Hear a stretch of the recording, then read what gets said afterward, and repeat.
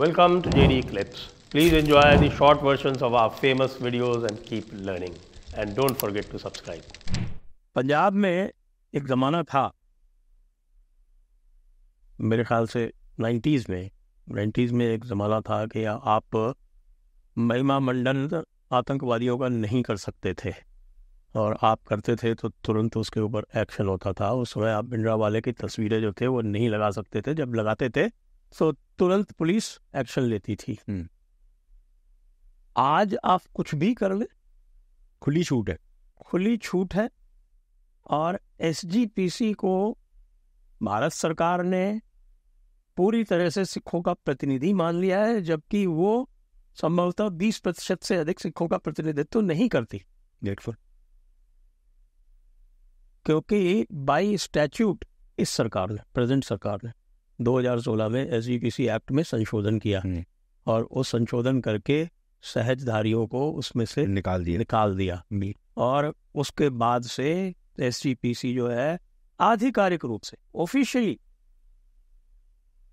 केवल एक तरह के सिखों की संस्था बन के रहेगी जिनका पूरे पंजाब के गुरुद्वारों पर कब्जा हो गया।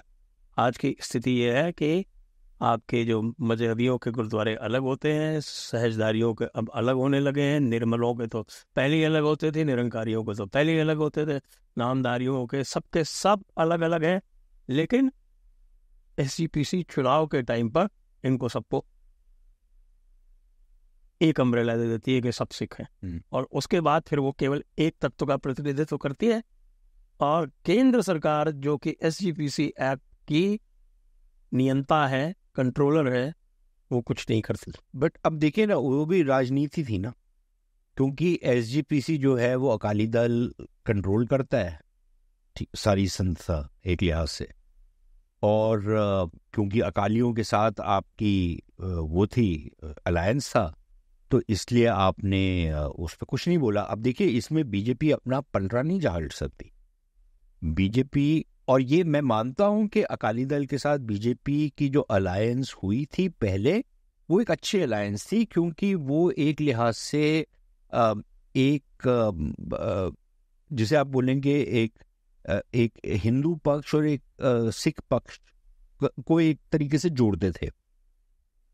ऑल तो मैं ये नहीं मानता कि बीजेपी सारे हिंदुओं को रिप्रेजेंट करती है और अकाली दल सारे सिखों को रिप्रेजेंट करती है लेकिन फिर भी एक, जो एक एक, एक इम्प्रेशन जाता था वो ये आप मान सकते थे।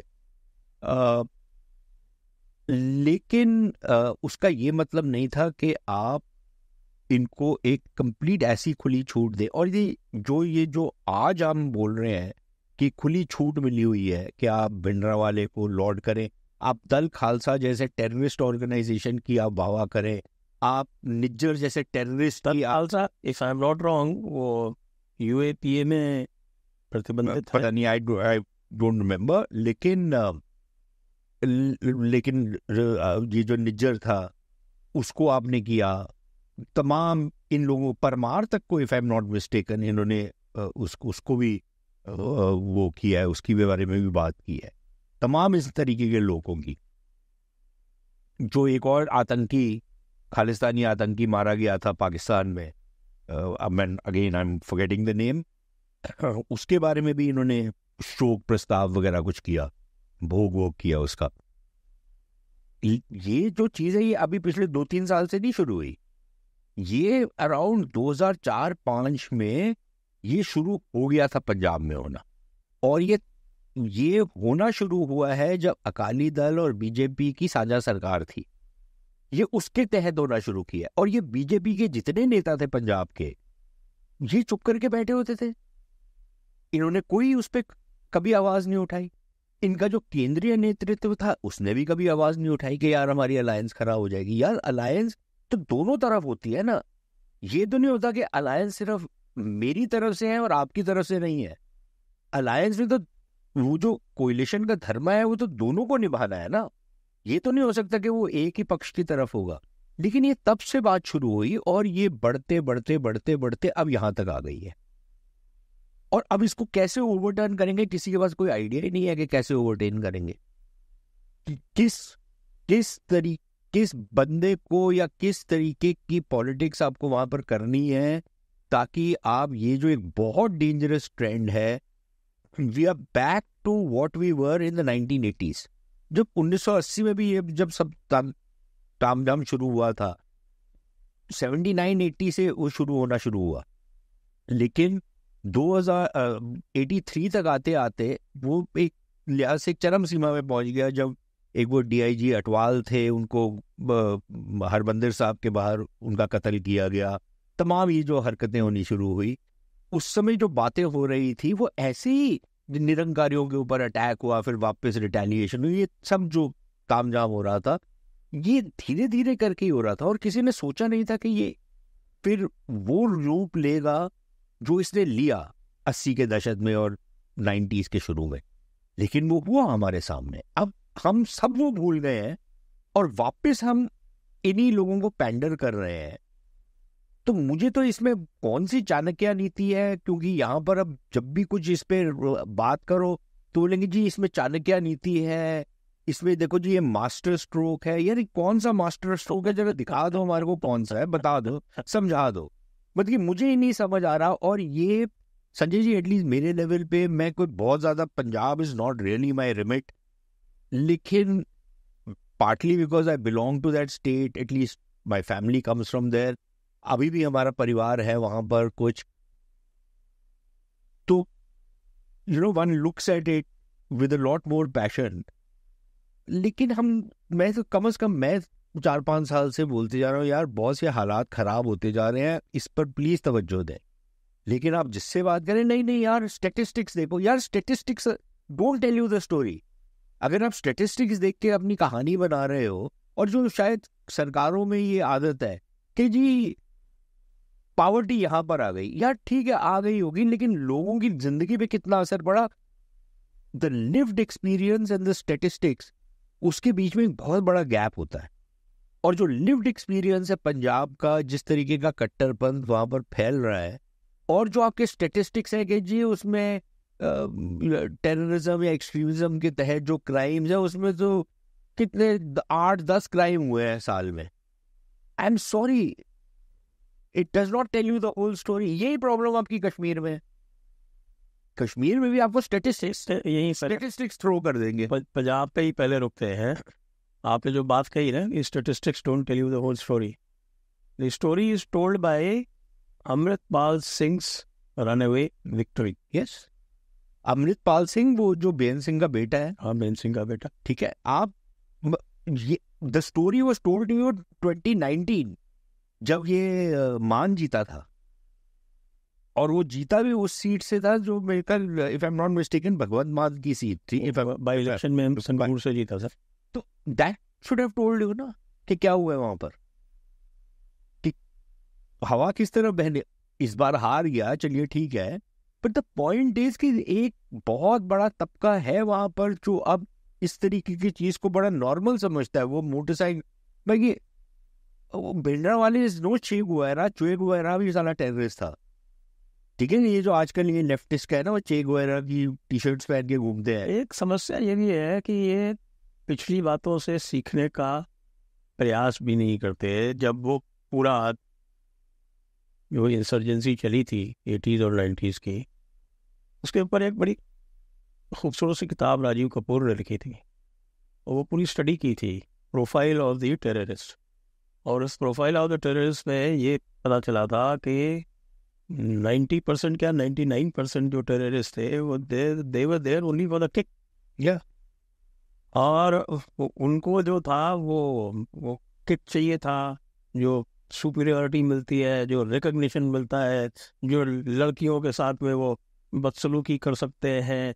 ये सारी चीज़ें ड्रग जो सारे काम जो थे वो सारे ये थे और उसमें ये रीड करते हैं कि साहब की ये रिलीजियस फीलिंग है। नहीं सो सो मैं आपको एक और चीज़ बताऊँ इसमें। इसी में अगर आप ये देखें जो लुक एट जो पंजाब का म्यूज़िक है। It used to be uplifting music at one time ये जो, अब ये जो म्यूज़िक आना शुरू हुआ है, ये जटवाद, ठीक है? क्या है क्या? Guns girls drugs fast cars गेड़ी यही है ना इनका म्यूज़िक और क्या है इसमें? कौन सी कोई अपलिफ्टिंग इसमें बात की है इन्होंने? और गैंगस्टर्स उसको ग्लोरीफाई करते हैं। अच्छा इसमें आ, कुछ लोगों का कहना है ये है कि बहुत सारे जो सिंगर्स हैं ये गैंगस्टर्स के साथ मिले हुए हैं। इनकी वो फंडिंग भी करते हैं वगैरह वगैरह। ये एलिगेशंस आ रही हैं। और वो मनी लॉन्ड्रिंग में भी यूज़ होता है वो सारा का सारा कि भाई आपका अगर हिट हो गया म्यूज़िक तो वो जो पैसा बनेगा वो आप पंप ऑफ़ कर दो या उसका इस्तेमाल हो जाएगा। इसमें जो एक ज़माने में एटीज़ के दशक में बॉलीवुड में होता था कि माफिया की इन्वॉल्वमेंट थी। वो भी है फैक्टर इसमें ड्रग्स भी आ गई हैं। तो क्रिमिनलाइजेशन तो हुई है और उस ज़माने में भी थी। अब दूसरी चीज़ आपको जो रियलाइज़ करनी है कि इसमें ज़्यादा which is the section of society जो इसमें ज़्यादा पड़ रहा है? मोस्टली द जट सिख जट सिख अच्छा जो कॉन्सेप्ट है वो ये है it's a very weird kind of concept in Punjab और मुझे ये याद है कि जब ये पंजाबी सुबह की एजिटेशन चल रही थी तो उस समय Pratap Singh Kairon was probably the greatest chief minister in Punjab उनका एक फॉर्मूला उन्होंने अपेरेंटली निकाला था। उन्होंने बोला, देखो, जब ये एजिटेशन होगी ना तो जब हिंदू एजिटेशन करे तो उसको जुर्माना मत करो, उसको जेल में डालो। ठीक है?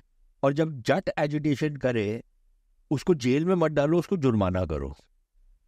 कॉन्सेप्ट ये था कि जो हिंदू है, उसके पास पैसा है तो वो आपको पैसा देके छूट जाएगा, वो जेल में नहीं जाना चाहता।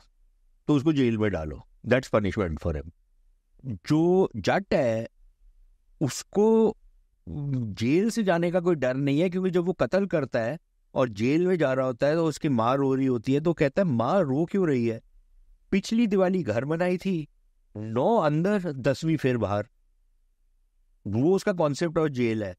उसको जब जुर्माना करोगे that hurts him see I am talking about sixties now but I am saying कि that is you know how statecraft is done आपने ये भी कुछ आपको पता ही नहीं है आइडिया ही नहीं है कि आप करना क्या है, कैसे इसको हैंडल करना है।